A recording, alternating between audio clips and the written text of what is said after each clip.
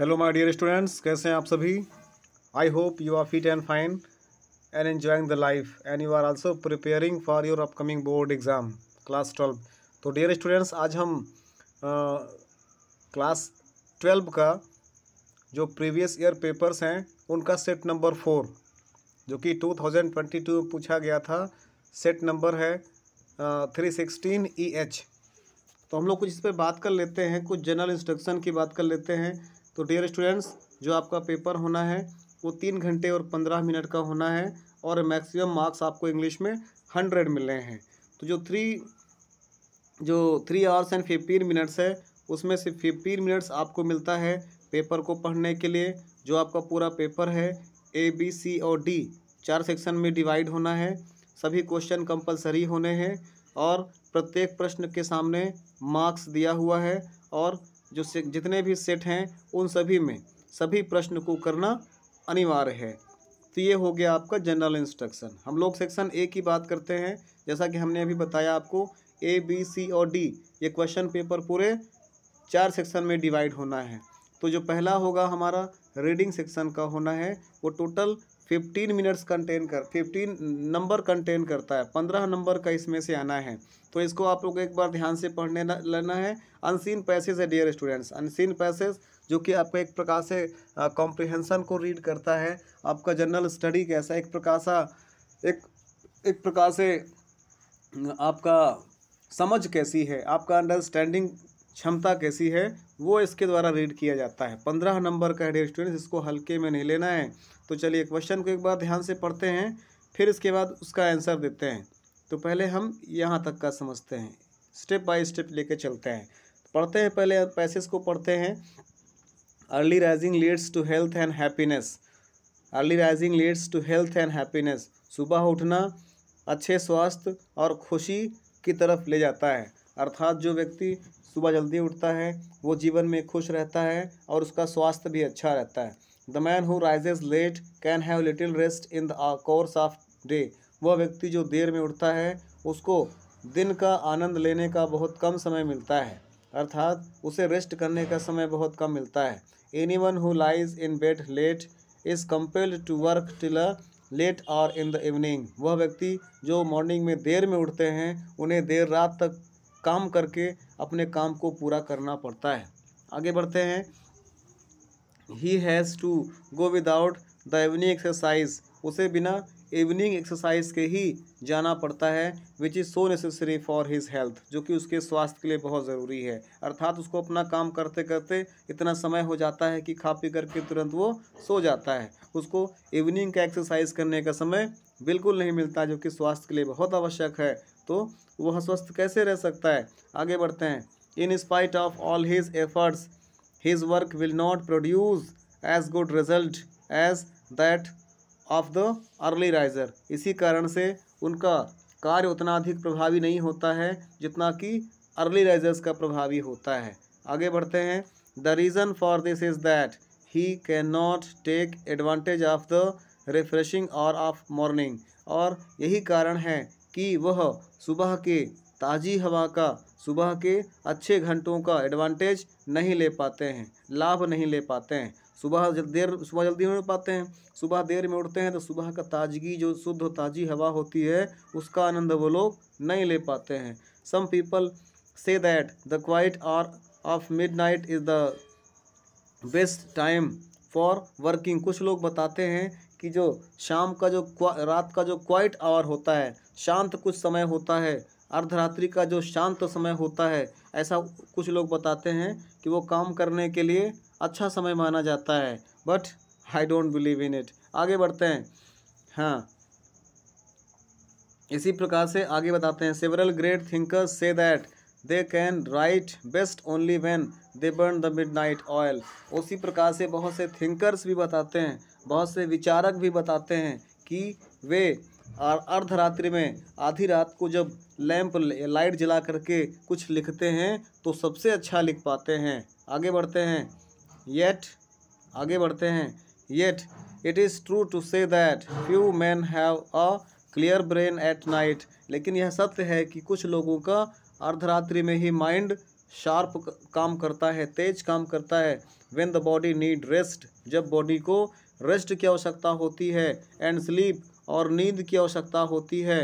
Those who work at that time soon ruin their health लेकिन वे लोग जो देर रात तक हमेशा काम करते रहते हैं, अक्सर अपने स्वास्थ्य को खो देते हैं and bad health must in long run have a bad effect on the quality of their work और जब यह अस, यह स्वास्थ्य लंबे समय तक गिरा रहता है, अर्थात कोई व्यक्ति अगर लंबे समय तक अस्वस्थ रहता है तो निश्चित रूप से उनके कार्यों पर भी इसका प्रभाव पड़ता है। चलिए क्वेश्चन नंबर वन देखते हैं। इसी पैसे से रिलेटेड होना चाहिए। Why is early rising better than rising late सुबह जल्दी उठना, देर में उठने से अच्छा क्यों है? सुबह जल्दी उठना, देर से उठने से अच्छा क्यों है? देखिए, ये पहले ही लाइन में दिया हुआ है। पहले ही लाइन में दिया हुआ है। Early rising leads to health and happiness early rising leads to health and happiness और भी लिखा हुआ है the man who rises late can have little rest in the course of the day इतना आपको लिखना होगा, यहाँ तक आपको लिखना होगा, यहाँ से लेकर के यहाँ तक आपको लिखना होगा। This is the answer of question number one आगे देखते हैं क्वेश्चन नंबर बी पढ़ते हैं। क्वेश्चन नंबर बी कहता है why do some thinkers burn the midnight oil बहुत से विचारक रात्रि में लैंप क्यों बर्न करते हैं? रात्रि में तेल क्यों जलाते हैं? क्यों जलाते हैं? अभी हम लोगों ने पढ़ा इसमें several great thinker say that they burn they can write best only when they burn the midnight mid oil कहते फिर से देखिए several great thinker say that they can write best only when they burn the midnight oil. तो this is the answer of question number B आगे बढ़ते हैं। Question number देखिए, अपना सी कहता है। क्वेश्चन नंबर सी को एक बार पढ़िएगा। What is the disadvantage of working at midnight midnight में वर्किंग करने का डिसएडवांटेज क्या है? मिडनाइट में वर्किंग करने का डिसएडवांटेज क्या है? देखिए, यहाँ पे लिखा हुआ है। Those who work at that यहाँ से यहाँ से ढूंढते हैं।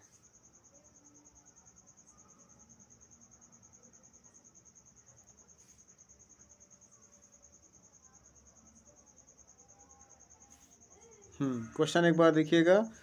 What is the disadvantage of working at midnight यहाँ से मिल जाएगा। दोज से लेके चलते हैं तो काम बढ़ जाएगा। यहाँ से दोज से लेते हैं है ना? दोज से।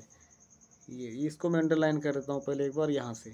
Those who work at that time या मिड नाइट कर सकते हैं। Soon ruin their health and bad health must in the long run has a bad effect on the quality of their work this is the answer of question number C question number D पढ़ते हैं एक बार। Question number D कहता है कि what are the possible advantage of the both morning hours and mid night hours morning hours और mid night hours में काम करने का एडवांटेज और डिसएडवांटेज पॉजिटिव वे में आपको बताना है। पॉजिटिव वे में आपको बताना है। तो यहाँ से ले लीजिए येट यहाँ से यस वेरी गुड मैं इसको पहले अंडरलाइन कर देता हूँ, फिर आपको बताता हूँ। चलिए, यहाँ से ले लेते हैं हम लोग। ये येट से लेकर शुरू करते हैं। Yet it is true to say that few man have a great clear clear brain यहाँ से लीजिएगा yet it is true to say that few man have a clear brain at mid night when the body need rest and sleep those लेकिन थोड़ा सा लिख दो। Those who work at that time soon ruin their health अर्थात कहते हैं कि ये बात सत्य है कि जब रेत, रात में देर रात तक लोग काम करते हैं तो जो हैबिट जिनका बन जाता है, उनके लिए तो अच्छा होता है, लेकिन कहीं ना कहीं इसका बैड इम्पैक्ट भी होता है। ये इसका एक प्रकार से डिसएडवांटेज भी है और एडवांटेज भी है। एडवांटेज आप चाहें तो और ऊपर से भी ले सकते हैं। एडवांटेज आप यहाँ से भी ले सकते हैं, एक लाइन इधर से भी जोड़ सकते हैं। जैसे early rising leads to health and happiness. यहाँ से ले लिए और आप इसमें लास्ट में और थोड़ा सा जोड़ दो। Yet it is true to say that few man have a clear brain at midnight when the body needs rest and sleep यहाँ तक भी आप ले सकते हैं। This is the answer of question number D and now come to the next question question number C has three part the first part question ask which word in the passage is possible of noisy इसको ध्यान समझिए। Which word in the passage is opposite of noisy ये noisy का opposite आपको बताना है। Do understand ये noisy का आपको अपोजिट बताना है। नॉइजी का अपोजिट क्या होता है? आप उसको पढ़ेंगे, आपको मिल जाएगा। मैंने पढ़ा, अभी मुझको मिला था quite Q U I E T quite शांत मिला था ना अभी क्वाइट हाँ जो रात्रि में शांत यहाँ पे देख लेते हैं लेट्स। हम्म, किधर गया? जी मिड नाइट के पास आपको मिलेगा ना? ये मिला देखिए।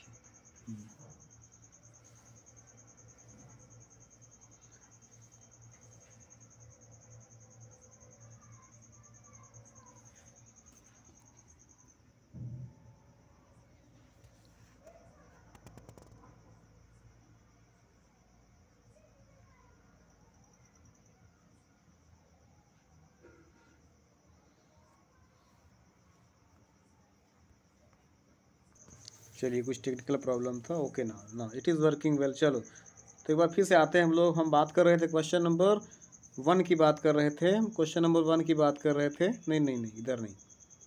हम्म, इधर से बात कर रहे थे ये। क्वेश्चन नंबर ई का जो पहला नंबर है इसकी बात कर रहे थे हम लोग नॉइजी की बात कर रहे थे। नॉइजी का अपोजिट आपको जानना है तो मैं भी आपको बताता हूँ। ये नॉइजी का अपोजिट ये लिखा हुआ है क्वाइट नॉइजी मीन्स होता है शोरगुल। और क्वाइट मीन्स होता है बिल्कुल शांत। तो नॉइजी का अपोजिट क्या हो जाएगा? नॉइजी का अपोजिट जाएगा क्वाइट शांत। चलिए, आगे बढ़ते हैं। उसी प्रकार से ये जो सेकेंड सेकेंड नंबर की बात कर लेते हैं। ई का सेकेंड क्वेश्चन पूछता है substitute one word for the phrase in spite of in spite of को हम और क्या कह सकते हैं? इन स्पाइट ऑफ़ को हम इंस्टीड ऑफ़ कह सकते हैं। इन इंस्टीड ऑफ़ भी कह सकते हैं। ये ले लीजिए इन स्पाइट ऑफ़ को हम इन स्टेड ऑफ़ भी कह सकते हैं। के सिवाय के बजाय के अतिरिक्त होता है ना? उसी प्रकार से चलिए ई नंबर की बात कर लेते हैं। Give the antonym of several several का एंटोनिम्स क्या होता है? सेवरल मीन्स होता है कई। सेवरल का एंटोनिम्स हो सकता है सम, कुछ। सेवरल मीन्स कई। सम मीन्स कुछ। ये हो सकता है। चलो तो ये हो गया आपका एक प्रकार से अनसीन पैसेज अब हम लोग क्वेश्चन नंबर टू की तरफ़ आते हैं। क्वेश्चन नंबर टू को एक बार देखते हैं। क्वेश्चन नंबर टू कहता है, इसको एक बार क्वेश्चन नंबर टू को एक बार आप लोग ध्यान से समझ लीजिए। ये रहा क्वेश्चन नंबर टू अपना। सेक्शन बी पोर्शन जो कि राइटिंग पोर्शन है अपना। सेक्शन बी हमारा राइटिंग पोर्शन में आएगा। राइटिंग में आएगा वो, जिसका भी आपको बीस नंबर मिलना है। तो क्वेश्चन के write an article on any one of the following topic in about hundred और hundred to one fifty word देखिए, यहाँ पर लिखा हुआ है आपको, आप इसमें से, मैं इसको कराऊँगा नहीं, वैसे इसको अपने से करना है आपको, आप इसको खोज सकते हैं कहीं से भी। हाँ इसको अपने से आपको ट्राई करना है। चलिए, ये है सामने, जैसे पहला है India's performance at the Olympic game इस पर आप लिख सकते हैं, एक टाइटल लिख सकते हैं, ऐसे लिख सकते हैं आर्टिकल लिख सकते हैं। Importance of game at school इस पर भी आप लिख सकते हैं। या फिर the role played by the doctor during the pandemic pandemic के दौरान डॉक्टर्स का क्या रोल हो सकता है? या क्या रोल होता है? इस पर भी आप एक टाइटल शीर्षक लिख सकते हैं। कभी समय मिलेगा तो हम लोग इस पर बात करेंगे। तो अभी हम लोग आते हैं क्वेश्चन नंबर थ्री पे। जो ग्रामर पोर्शन होगा, उस पर हम लोग ज़्यादा फोकस करते हैं अभी।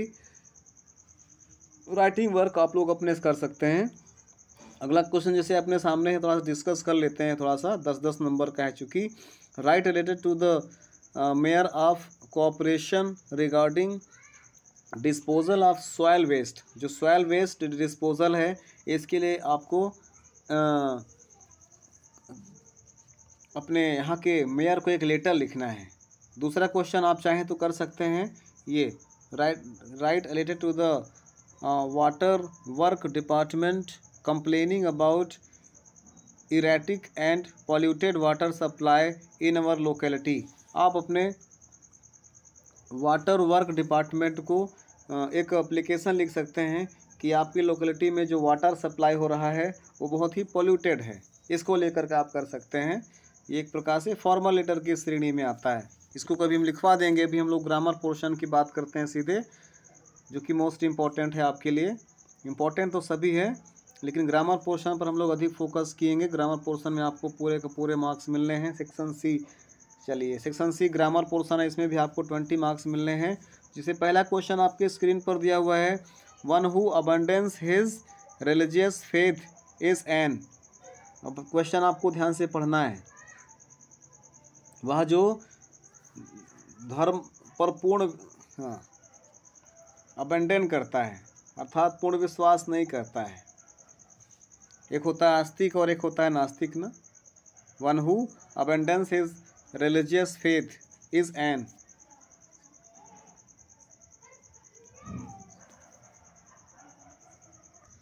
तो पहले जो हमारे पास विकल्प दिए हैं, हम इन विकल्पों की बात कर लेते हैं। आई थिंक आप लोग, आप क्वेश्चन को अच्छे समझ गए होंगे। क्वेश्चन कहना चाहता है कि one who abandons is religious faith is an वह व्यक्ति जो धार्मिक विश्वास पर या धर्म पर विश्वास नहीं करता है, वो कहलाता है। एथीस्ट कहलाता है या फिर अपोस्टेट कहलाता है या फिर इन्फीडेट कहलाता है या फिर ऑप्टिमिस्ट कहलाता है। क्या होता है? रेली आप लोग सही बता रहे हैं। वो कहलाता है एथीस्ट अर्थात नास्तिक, जो ईश्वर पर बिल्कुल भी विश्वास न करता, वो होता है आस्तिक। और यहाँ पर एक और वर्ड लिखा हुआ है आपके सामने ऑप्टिमिस्ट ऑप्टिमिस्टिक कौन होते हैं? जो आशावादी होते हैं, जो पॉजिटिव थिंकिंग रखते हैं, वो होते हैं। चलिए क्वेश्चन नंबर बी की बात करते हैं। Come to the next question. अगला क्वेश्चन पूछ रहा है, the phrase pick holes in. Pick holes in, इसका मतलब क्या होता है? पिक होल्स इन, इसका मतलब क्या होता है? पिक होल्स इन, अर्थात कहीं कोई जगह है, बहुत सुंदर चीज़ है, उसमें आपको सुंदरता ना खोज करके उसमें कोई कमी खोजना। वो क्या कहलाता है? ये पहला ऑप्शन ही सही है इसमें। फाइंड फॉल्ट विथ कमी की तलाश करना। भाई, नाम से याद रखिए पिक होल इन अर्थात कहीं पर आपको होल देखना है, कहीं पर फटा है कि नहीं है। अच्छा कितना है वो आपको नहीं दिख रहा है। उसमें कमी क्या है उसको आपको खोजना है। उसी को हम क्या बोलते हैं? उसी को बोलते हैं फाइन फॉल्ट विथ चलिए, उसी प्रकार से come to the next question question number C है, इसमें कहता है the synonym of acute acute का सैनोनिम साइनोनिम्स क्या होता है? अक्यूट मीन्स क्या होता है? अक्यूट मीन्स होता है तेज फास्ट अक्यूट अक्यूट का सैनोनिम्स क्या होता है? उसका पर्यायवाची क्या होता है? बहुत सारे वर्ड यहाँ पे लिखा हुआ है। यहाँ पे लिखा हुआ है। हाँ यहाँ पे आपके सामने नाइस लिखा हुआ है। एक्सीडेंट लिखा हुआ है थोड़ा इसको और ऊपर कर लेते हैं। नाइस लिखा हुआ है। एक्सीडेंटल हम्म? है, सेवरल है, सवेयर है और क्यूरियस है। आपको इनमें से कौन सा सही लग रहा है? Synonyms of acute acute means होता है फास्ट तेज।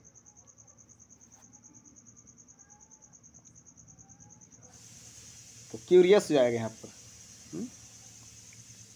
क्यूरियस मीन्स भी होता है जिज्ञासु और अक्यूट में भी एक प्रकार से फास्ट भी होता है और जिज्ञासु होता है। तो इसका सही आंसर हो जाएगा ये अक्यूट हो जाएगा। तो और जो हमारे पास विकल्प हैं, उनकी बात कर लेते हैं। जैसे नाइस मीन्स सबको पता है अच्छा ही है। और सवेयर सवेयर मीन्स क्या होता है? सवेयर मीन्स होता है ये, गंभीर।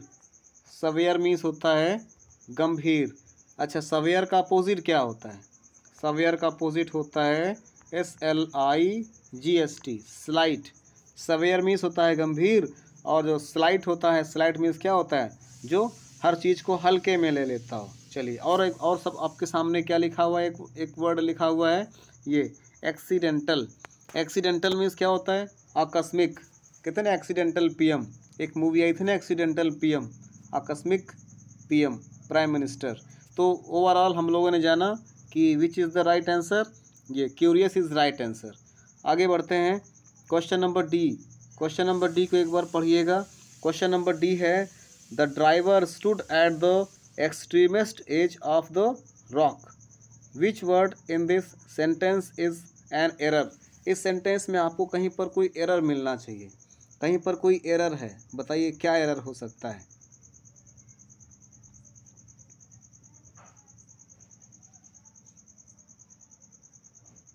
वेरी गुड ये जो एक्सट्रीमिस्ट लिखा है ना एक्सट्रीम ये नहीं होता कभी, याद रखिएगा। एक्सट्रीम तो एक्सट्रीम का कोई डिग्री नहीं होता एक्सट्रीम अपने आप में ही सर्वश्रेष्ठ है। कुछ मैं वर्ड आपके सामने लिख दे रहा हूँ, जिसको आपको कंपरेटिव और सुपरलेटिव डिग्री नहीं बनाया जाता है, ठीक है ना? जैसे एक हो जाएगा आपका यूनिक ये यूनिक हो गया। यूनिक हो गया। इसको हमेशा आपको सिंपल में रखना है, आपको हमेशा बेस फॉर्म में रखना है इसे पॉजिटिव फॉर्म में रखना है। जैसे एक होता है परफेक्ट, ये। लिख लेना कहीं इसको बेटा। परफेक्ट। इसके बाद एक होता है जैसे राउंड, ये। राउंड। और जैसे एक होता है कंप्लीट। जैसे एक होता है कंप्लीट। ये, कंप्लीट। एक, और हमारे सामने एक तो लिखा ही है। ये हमारे सामने एक लिखा है। एक्सट्रीमिस्ट नहीं होता है एक्सट्रीम होता है, ठीक है ना? तो यहाँ पर कौन सी गलती है? एक्सट्रीमिस्ट नहीं होगा एक्सट्रीम होगा। तो यहाँ पर सेकेंड नंबर गलत हो गया है। चलिए अच्छा और आगे बढ़ते हैं। ई e नंबर की बात करते हैं। अगला क्वेश्चन कहता है ई नंबर में the antonym of virtue is अब इसमें ऑप्शन खोजते हैं। वर्च्यू मीन्स क्या होता है? वर्च्यू मीन्स इक्वलिटी गुण, गुणवान व्यक्ति तो इसमें अपोजिट खोजना है, एंटोनिम खोजना है तो फ्रॉड ये भी नहीं होगा, क्राइम ये भी नहीं होगा। वाइस वाइस मीन्स क्या होता है? वाइस मीन्स होता है दोष। वाइस मीन्स होता है दोष और वर्च्यू मीन्स होता है गुण। तो गुण का अपोजिट दोष तो यहाँ पर हो जाएगा वाइस। वैसे विकेटनेस मीन्स होता है, जो दुष्टता, दुष्ट व्यक्ति होता है, उसको विकेट बोलते हैं ना? विकेट विक्ड नहीं, विकेट। हम्म। आगे बढ़ते हैं हम लोग। क्वेश्चन नंबर फाइव आपकी स्क्रीन पर है। इसको ध्यान से समझिएगा। ये क्वेश्चन नंबर फाइव कहता है change any one of the following in into indirect speech आपको इसको इनडायरेक्ट स्पीच में चेंज करना है। जैसे पहला आपके सामने लिखा हुआ है he will say the student was lazy इसको आपको चेंज करना है इनडायरेक्ट नरेशन में। देखो ही विल से है। हमने जाना था ना, ये हमारा रिपोर्टिंग स्पीच होता है। और ये भाग ये भाग हमारा रिपोर्टेड स्पीच होता है। रिपोर्टिंग स्पीच रिपोर्टेड स्पीच ये दो भाग होते हैं ना डायरेक्ट नरेशन के। अब हमको देखना है, हमने पढ़ा है कि ये रिपोर्ट ये रिपोर्टिंग सब्जेक्ट है रिपोर्टिंग वर्ब है रिपोर्टिंग ऑब्जेक्ट ये क्या हो गया? Reported subject reported verb reported object इस प्रकार से हम इसको क्रम में रखते हैं। अधिक जानने के लिए प्लेलिस्ट में मेरी एक मैराथन वीडियो पड़ी हुई है नरेशन की, उसको आप देख लेंगे दो घंटे की है तो आपको नरेशन बिल्कुल क्रीम क्रीम सा हो जाएगा। चलिए तो इसको देखते हैं, हे विल से। ये रिपोर्टिंग वर्ब हमारी फ्यूचर में है। हमने पढ़ा था रिपोर्टिंग वर्ब प्रेजेंट में होगी या फ्यूचर में होगी तो रिपोर्टेड स्पीच के टेंस को नहीं बदलना है। तो यहाँ पर नहीं बदलना है तो ही विल से दैट ये क्या हो जाएगा? ही विल ये ही विल से दैट इतना हो गया हमारा। अब बचा क्या? द स्टूडेंट वाज लेजी चुपचाप लिख दो। He will say that the student was lazy. Yes, very good. केवल आपको यहाँ पर that लगाना है। मीन्स टू से that यहाँ पर केवल आपको that लगाना है and everything will be same to same clear है ना? चलिए, आगे बढ़ते हैं। अच्छा इसी पर हमें करना सिर्फ़ एक है, लेकिन हम यहाँ पे दोनों को लेके चलते हैं। जैसे दूसरा लिखा हुआ है, दूसरा हमारे सामने लिखा हुआ है ये। He said we cannot be quite happy in this life. We can, we cannot be quite happy in this life. अब देखो यहाँ पर ये रिपोर्टेड अब यहाँ पर हमारा जो सब्जेक्ट है, वो पास्ट टेंस में है। जब रिपोर्टिंग वर्ब पास्ट टेंस में हो सब्जेक्ट नहीं रिपोर्टिंग वर्ब जब रिपोर्टिंग वर्ब हमारी पास्ट टेंस में होगी तो रिपोर्टेड स्पीच का टेंस बदल जाएगा। अब बदलेगा कैसे, वो आप लोग जानते हो। हम लोग जानते हैं प्रेजेंट के चारों को पास्ट के चारों में। जैसे प्रेजेंट डेफिनेट बदलेगा पास्ट इंडेफिनेट में। मेरे साथ बोलेंगे प्रेजेंट कॉन्टीन्यूस बदलेगा पास्ट कॉन्टीन्यूस में। प्रेजेंट परफेक्ट बदलेगा पास्ट परफेक्ट में। और प्रेजेंट परफेक्ट कॉन्टीन्यूस बदलेगा पास्ट परफेक्ट कॉन्टीन्यूस टेंस उसी प्रकार से पास्ट इंडेफिनिट पास्ट परफेक्ट में। Past continuous past perfect continuous tense में। फ्यूचर का शैल को शुड में और विल को वुड में चेंज करते हैं। कब चेंज करते हैं? तब चेंज करते हैं जब रिपोर्टिंग वर्ब पास्ट टेंस में होता है। अब देखिए ही सेड यहाँ पर दैट लगा दे। इतना तो आपका सही है। हमने ही सेड दैट लगा दिया। He said that we can not do अब देखो वी है। वी हमने प्रोनाउन संबंधी परिवर्तन पढ़ा था। क्या पढ़ा था? S O N by one two three ये वन में क्या? आई और वी होता है। टू में यू होता है। थ्री में ही शी इट दे और कोई भी नाउन सब थर्ड पर्सन में आते हैं। ठीक है ना? चलिए तो जानते हैं आगे। दैट तक हम लोग पहुँच गए हैं। वी है। वी कौन सा है? आई और वी फ़र्स्ट पर्सन बदलेगा रिपोर्टिंग स्पीच के सब्जेक्ट के अनुसार। ही है, चूँकि वी हमारा प्लूरल में है तो ही का प्लूरल क्या होता है? दे हो जाएगा। ये दे लिख दिया हमने। अब देखो कैन नॉट है। कैन नॉट को हम लोग लिख देंगे ये कुड नॉट ये हो जाएगा। दे कुड नॉट अब आगे चुपचाप उसी को लिख दो। They could not be quite happy in और दिस को हम लोग चेंज कर देते हैं दैट में। तो ओवरऑल हमारा क्या हो गया? ये हो जाएगा he said that they could not be quite happy in that life clear चलिए तो हम लोग अब कंबाइन करते हैं। क्वेश्चन नंबर फाइव के। इस पोर्शन पे आते हैं। इसको बहुत सावधानी से पढ़ना है, इसको हमको सिंथेसिस करना है। टू मार्क्स का ये भी पूछता है।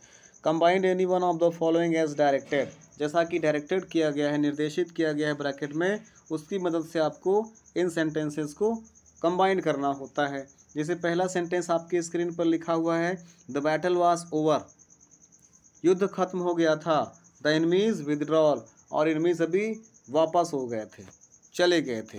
अब इसको हमको चेंज करना है। इसे हमें कंबाइन करना है। याद रखिएगा स्टूडेंट्स जब ऐसी स्थिति आ जाए, जहाँ पर वाज लिखा हो तो उसी को हम चुपचाप क्या कर देते हैं?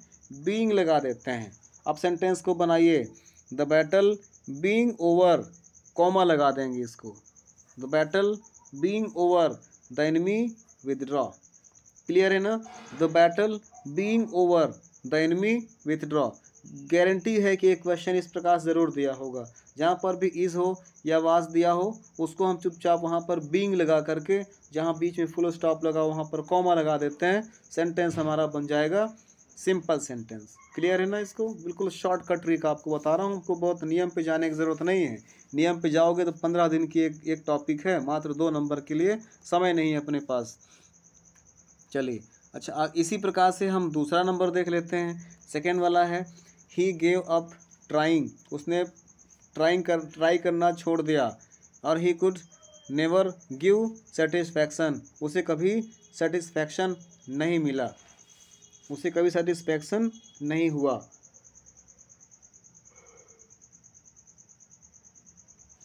अब देखो ही गेव अप ट्राइंग अब हमको बनाना क्या है? इसमें कॉम्प्लेक्स सेंटेंस बनाना है।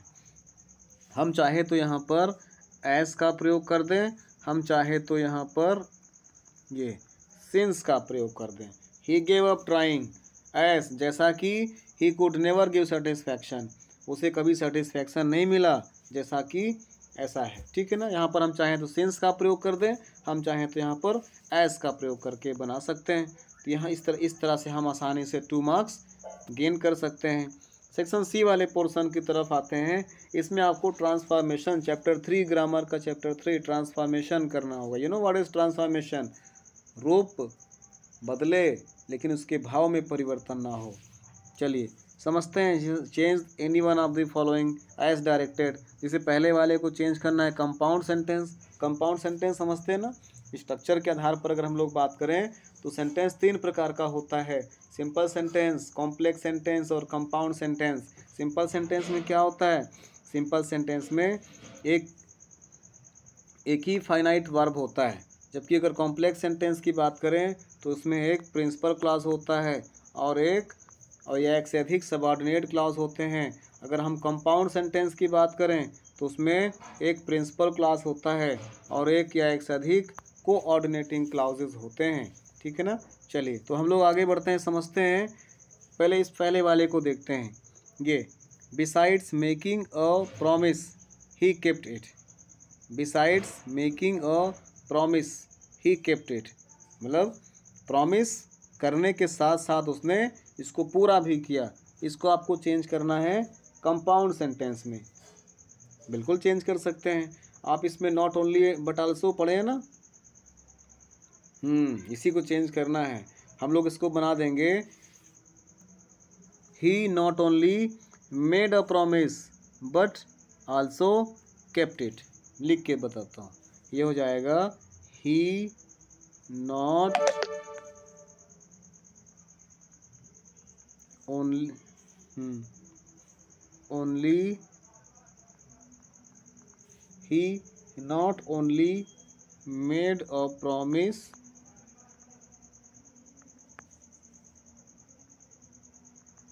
but also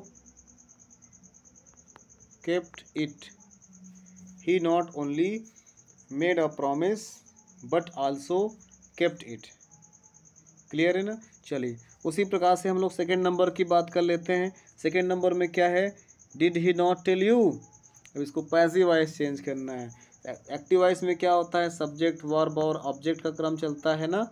लेकिन जब हम लोग पैसिव वॉइस में आते हैं तो पैसिव वॉइस का क्रम क्या होता है? सब्जेक्ट को ऑब्जेक्ट बना देते हैं, फिर इसके बाद हम लोग हेल्पिंग वर्ब लाते हैं, फिर वर्ब की थर्ड फॉर्म लिखते हैं और फिर बाई के साथ लास्ट में हम लोग उस सब्जेक्ट को लिखते हैं, ऑब्जेक्ट के रूप में लिखते हैं। याद रखिएगा इस क्रम को। चलिए तो क्या लिखा हुआ है? Did he not tell you जब इसको हम लोग बनाएँगे तो क्या बन जाएगा? ट्राई करिए एक बार सब लोग।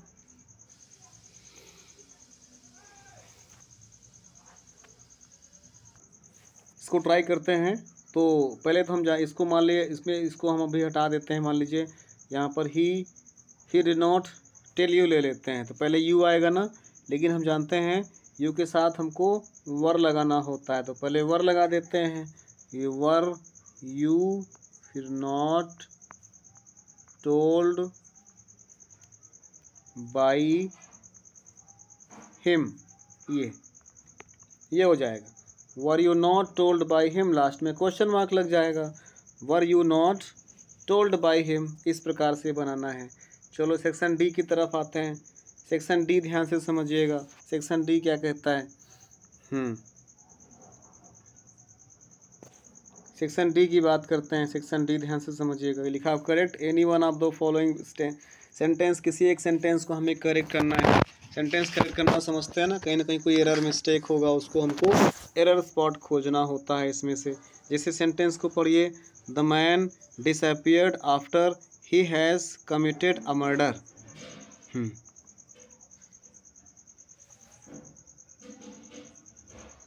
the man disappeared after he had जब सेंटेंस पास्ट टेंस में है तो इसको भी पास्ट टेंस में रखना होगा ना। He had committed a murder यहाँ पर क्या हो जाएगा? हैज़ की जगह पर क्या हो जाएगा? हैड हो जाएगा। ये हैज़ की जगह पर हैड हो जाएगा। चलो उसी प्रकार से सेकेंड नंबर देखते हैं। लिखा हुआ है being a rainy day we did not go out अब इसको सही करना। बींग अ रेनी डे नहीं होता। है as it was rainy day being को हटा देंगे हम लोग। यहाँ पे लिखेंगे एज इट वाज अब आगे लिख दो। As it was rainy day with no we did no we didn't go out as it was rainy day we did not go out इस प्रकार से इसको हम बना लेते हैं। ई नंबर क्वेश्चन को देख लेते हैं। ये भी टू मार्क्स का है। लिखा हुआ है any use any one of the following pairs of words in your own sentences आपको सेंटेंस बनाना है इसमें, ठीक है ना? आपको सेंटेंस बनाना होगा। सेंटेंस बनाना समझते हैं ना सभी लोग? चलो। जिसे पहले लिखा हुआ है हमारा, हमारे सामने लिखा हुआ है, पहले लिखा हुआ एक्सेस। पहले लिखा हुआ इसको देख, टच करके। पहले लिखा है एक्सेस। एक्सेस मीन्स क्या होता है? एक्सेस मीन्स होता है पहुँच। पहुँच समझते हैं ना? हाँ एक्सेस कोई चीज़ की पहुँच, हमारी पहुँच, प्रधानमंत्री तक है जैसे हम्म जैसे वहाँ पर समय पर पहुँचना ज़रूरी है या वहाँ समय पर पहुँचना आसान है। पहले इसी को ले लेते हैं। इसका सेंटेंस एक बना कर देखते हैं। जैसे क्या बन जाएगा? It is access there it is easy there it is easy to access there in time हो सकता है। लिख सकते हैं हम लोग। It is easy to access there in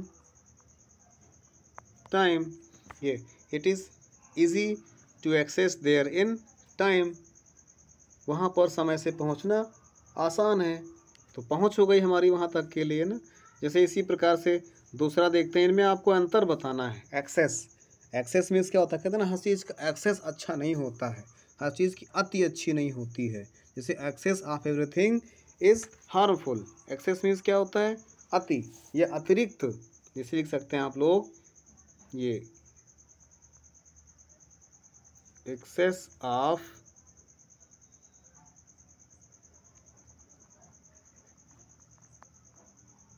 everything is harmful ये excess of everything is harmful हर चीज़ की जो अधिकता है, वो हार्मफुल होती है, नुकसानदायक होती है। चलिए, दूसरा, इसमें से आपको सिर्फ़ एक ही करना है आप मान लीजिए इसको कर लिए हैं तो आपको इसको करने की ज़रूरत नहीं है। लेकिन फिर भी हम चूँकि एग्ज़ाम में तो वो विकल्प रहेगा, लेकिन अभी हम लोग प्रैक्टिस कर रहे हैं। मे भी इसके इसके बजाय ये वाला कभी एग्ज़ाम में आ गया तो हम लोग को लगेगा हम तो इसको छोड़ दिए हैं तो हमें इसको भी करके देखना है। हमें इसको भी करके देखना है। जैसे लिखा हुआ है एफर्ट एफर्ट मीन्स क्या होता है? एफर्ट मीन्स होता है एक प्रकार से प्रभाव। प्रभाव। ये किस रूप में कार्य करता है?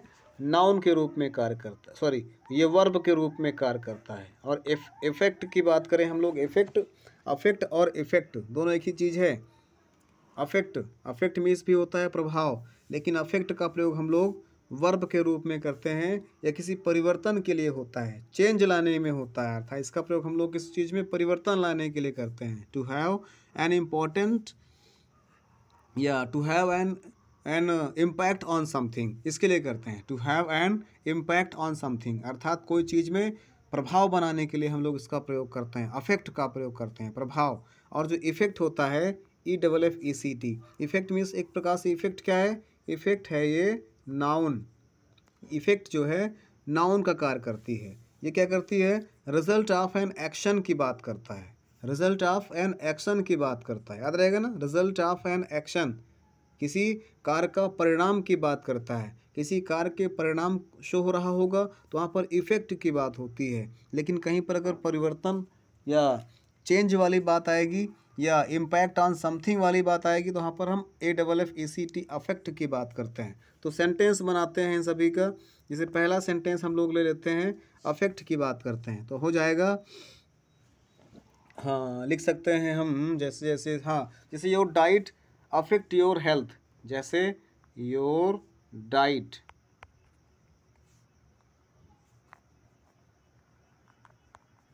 affects your health your diet ये. Your diet affects your health आपकी जो डाइट है, आपके स्वास्थ्य को प्रभावित करती है। ये क्या हो गया आप एक प्रकार से? इम्पैक्ट ऑन समथिंग किसी चीज़ में प्रभाव लाना होता है। और यहाँ पर इफ़ेक्ट जो है अफेक्ट किसका कार्य कर रहा है?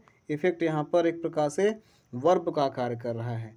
दूसरा हम लोग लेते हैं इफ़ेक्ट इफ़ेक्ट मीन्स क्या? प्रभाव, जिसको नाउन के रूप में हमको यूज़ करना है। इसको हम यूज़ कर सकते हैं, जैसे कई मूवी में इफ़ेक्ट डाला जाता है ना जिससे उसके परिणाम में काफ़ी अच्छा प्रभाव पड़ता है। हम लोग लिख सकते हैं, जैसे the special effect in movie today are added by computer लिख के बताते हैं। आ जाएगा ना इतना? जैसे the special effects in movies today are added by computer. ये लिख लेना है इसको, कंप्यूटर। तो क्या हुआ? The special effect in movies today are added by computer तो यहाँ पर हमने क्या देखा? इफ़ेक्ट की बात हो रही है। यहाँ पर रिज़ल्ट ऑफ़ एन एक्शन की बात हो रही है। ठीक है ना? क्लियर आगे बढ़ते हैं, चलिए। ये जो ट्रांसलेशन है, इसको मैं अलग से एक छोटा सा वीडियो बनाकर पाँच मिनट को आपको समझा दूँगा। नहीं तो वीडियो अपना बहुत लेंदी हो जाएगा। लिटरेचर पोर्शन की थोड़ा सा बात कर लेते हैं हम लोग। केवल एक फाइव मिनट की क्लास और बची है, मैं केवल डिस्क्राइब कर दूँगा बस थोड़ा थोड़ा करके। समझना है बस आपको, जिसे लिखा हुआ है what is the reason that made M Hamel declare that the lesson which he was going to teach on that fateful day was to be the last lesson क्या रीज़न ऐसा था जिससे एम हेमल को मालूम चलता है कि वह लेसन उनका लास्ट लेसन है। क्योंकि जो नोटिस बोर्ड पर, जो बुलेटिन बोर्ड पर शो हो गया था ना, जब बुलेटिन बोर्ड पर लिखा हुआ था, वहाँ पे भीड़ भाड़ लगी हुई थी, वहाँ पर एक्चुअल में बताया गया था कि वहाँ पर अब जो है फ्रेंच लैंग्वेज नहीं पढ़ाई जाएगी। वहाँ पर अब जर्मन टीचर आएँगे। और जो दो स्टेट हैं, उन दो स्टेट्स को जर्मन को दे दिया गया है। ऑलसैक और लॉरेंस जो दो डिस्ट्रिक्ट थे इनको, और इसी के अंदर उनका स्कूल पढ़ता था। तो उनको ये नोटिस आ गई थी कि आज के दिन ही आज पर, आज रात तक यहाँ से आपको ऑलसैक और लॉरेंस को छोड़ करके और फ्रांस को छोड़ करके आपको यहाँ से चले जाना है। अब यहाँ पर फ्रेंच लैंग्वेज नहीं बोली जाएगी, यहाँ पर जर्मन लैंग्वेज बोली जाएगी। तो उनको ये चीज़ का मालूम चल गया था आभास हो गया था कि आज मेरा अंतिम पाठ है। इसलिए अंतिम पाठ में उन्होंने अपनी सारी बातें बच्चों को बताई थी। क्लास भी लिया था और मोटिवेशनल बात भी बताई थी उनको। इसीलिए तो गाँव के बहुत सारे बुज़ुर्ग लोग भी आकर के उनके क्लास में बैठे हुए थे ना, पढ़ा था आप लोगों ने। मैंने इसको करवाया था लॉन्ग क्वेश्चन शॉर्ट क्वेश्चन अभी तो शॉर्ट क्वेश्चन वाली बात हो रही है। शॉर्ट क्वेश्चन आपको फोर्टी वर्ड में आंसर देने हैं, दो क्वेश्चन करने हैं। ठीक रहेगा ना? चार क्वेश्चन दिए रहेंगे। इसे, इनमें से कोई एक करना है, फिर इनमें से कोई एक करना होगा आपको। ठीक? चलिए, देखते हैं फिर। इसी प्रकार से अथवा वाला देख लेते हैं। What made the peddler think that he had in indeed fallen into a rat trap जो पैटलर था, उसे कब मालूम चलता है कि वो अपने ही रैट ट्रैप में फंस गया है? जब वो चोरी कर करके जो थ्री थर्टी करोड़ और थे ना, उस ओल्ड मैन के मिल्क मैन के पैसे लेकर के वो जंगल के रास्ते से होकर जा रहा था। उसने क्या सोचा था?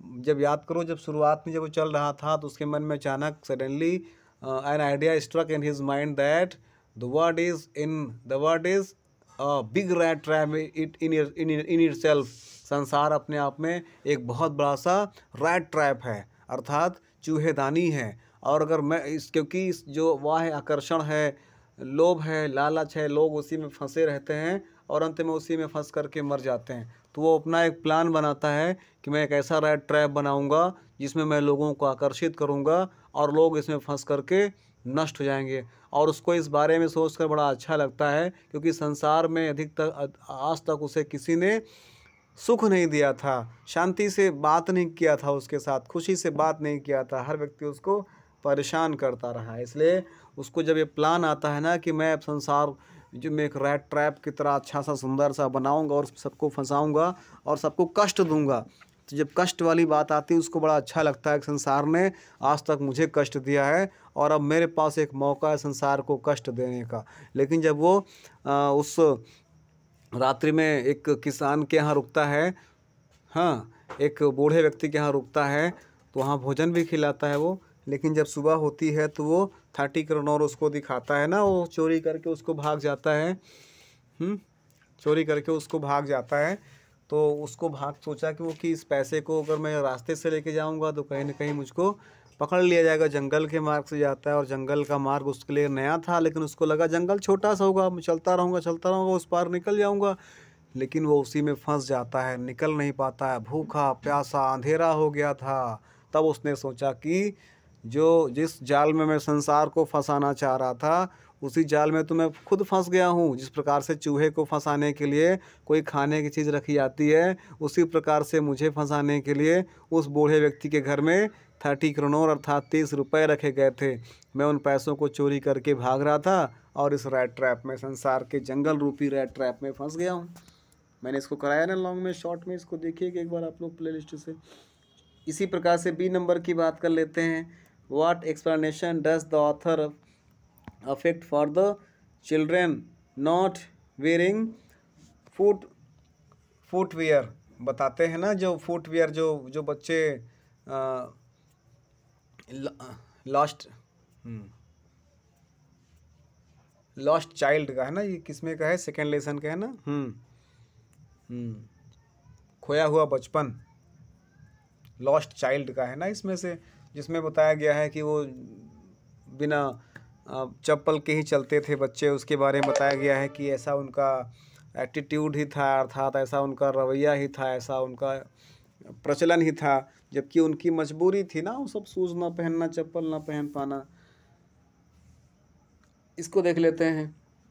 What prompted Gandhi ji to urge the departure of the British ये इंडिगो से लिया गया है ना, इसको आप खोजिएगा, आपको मिल जाएगा। हम लोग क्वेश्चन नंबर एट की बात कर लेते हैं। क्वेश्चन नंबर एट में क्या कहा गया है? Question number eight question number eight की बात कर लेते हैं। क्वेश्चन नंबर एट ए और बी में से कोई एक ही करना है आपको। लॉन्ग में है ये आपका एट्टी वर्ड में आपको इसको लिखना होगा। इसको आपको अबाउट एट्टी वर्ड में लिखना होता है। जैसे पहला क्वेश्चन है on what ground did English owner of indigo plantation demand compensation for the share croppers share cropper से जो है कंपनसेशन के रूप में, हर जाने के रूप में जो इंग्लिश ओनर थे, वो क्या, किसकी डिमांड करते हैं? है? याद करो इंडिगो से इसको लिया गया है ना, इसको आप लोग करिएगा ट्राई करिएगा।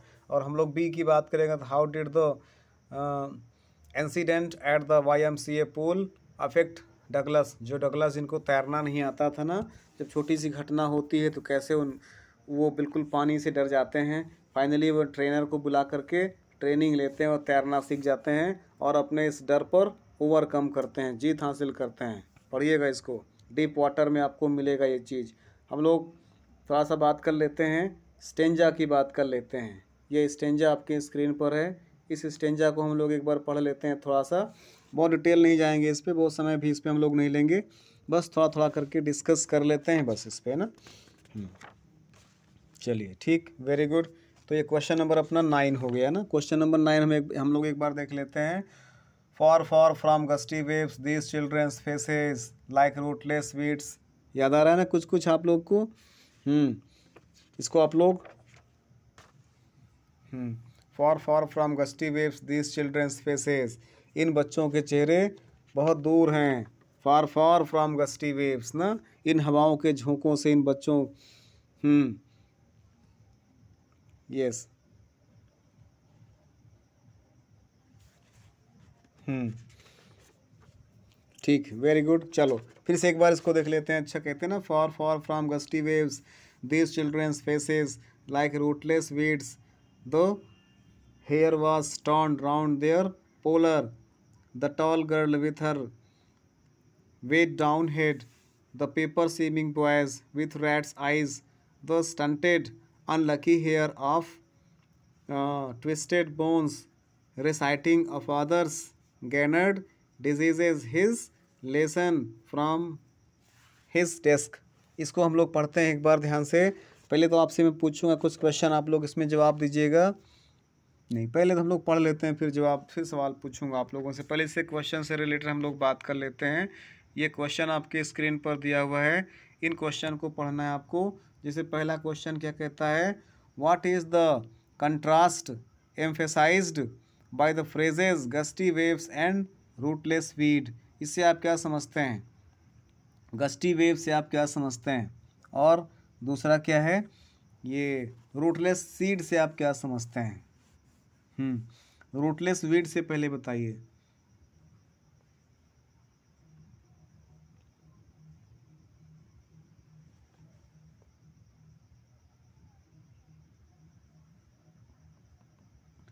रूटलेस वीड से आप क्या समझते हैं? रूटलेस वीड एक प्रकार से बिना जड़ के खर पतवार इससे आप क्या समझते हैं? रूटलेस वीड मीन्स बिना खर, बिना जड़ के खर पतवार अर्थात क्या?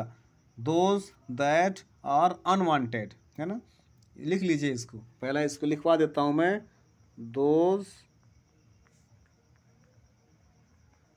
दैट आर अनवांटेड, ये। दोज दैट आर अनवांटेड इसके बाद दूसरा ले लेते हैं।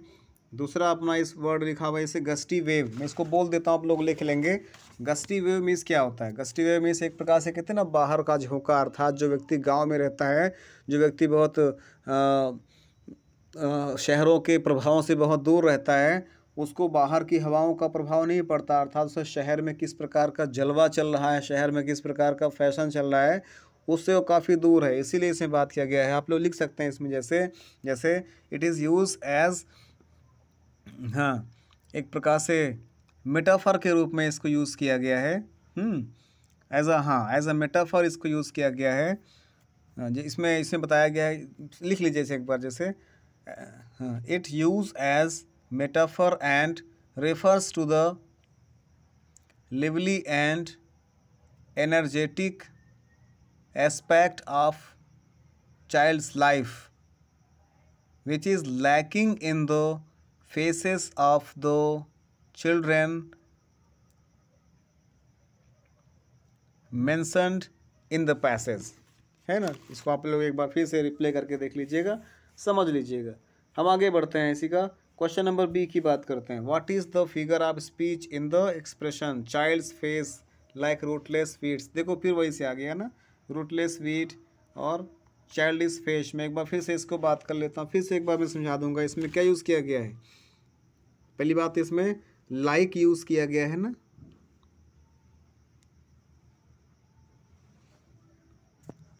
लाइक like यूज़ किया गया है ना इसमें? लाइक रूटलेस वीड्स के सिमली का प्रयोग किया गया है इसमें, है ना? कौन से फिगर ऑफ़ स्पीच यूज़ किया गया है इसमें? Simile figure of speech use किया गया है इसमें। क्या? सिमली फिगर ऑफ़ स्पीच, जहाँ पर भी सो लाइक एस का प्रयोग हुआ हो, वहाँ पर निश्चित रूप से सिमली फिगर ऑफ़ स्पीच का प्रयोग किया जाता है। अगला क्वेश्चन इसे में जैसे what is meant by stunted और unlucky heir of twisted bone stunted means क्या होता है? Stunted unluckily heir of twisted bone इसका मतलब क्या होता है? इसका मतलब हो जाएगा डियर स्टूडेंट्स अनप्लीजेंट लुकिंग लिख देते हैं अच्छे। Un unpleasant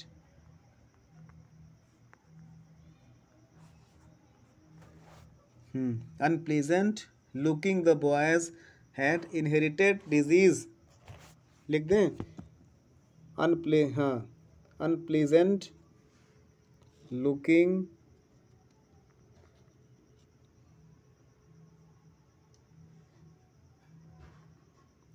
द बॉय लिखिएगा अच्छा यहाँ पर, देख लेना, द बॉय, इंग्लिश में लिख रहा हूँ ना, the boy has inherited.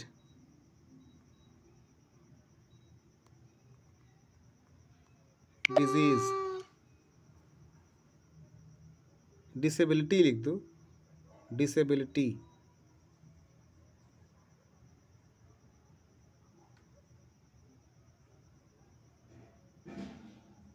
Disability, ये हो गया इस प्रकार से। क्या समझें इसको? Unpleasant looking the boy has inherited disability अर्थात जो बच्चे हैं, वो एक प्रकार से अनप्लेजेंट लुकिंग दिख रहे हैं। अर्थात बहुत ही दुखी दिखाई पड़ रहे हैं।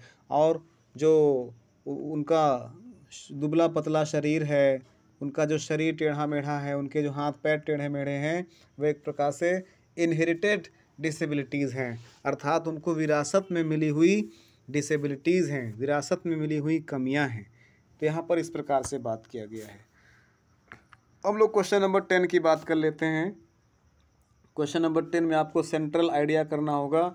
My mother at sixty six कर सकते हैं कीपिंग क्वाइट कर सकते हैं थिंक का ब्यूटी मैं देखूँगा आप इन तीनों को याद कर लो। इन तीनों में से श्योर है गारंटी है hundred and ten percent guarantee है कि एक न एक एग्ज़ाम में फंसेगा ही। इसको आप लोग अपने से ट्राई करेंगे। इसके बाद हम लोग आते हैं इधर eleven number question. Question number eleven एक बार देखिए आप लोग। Question number eleven.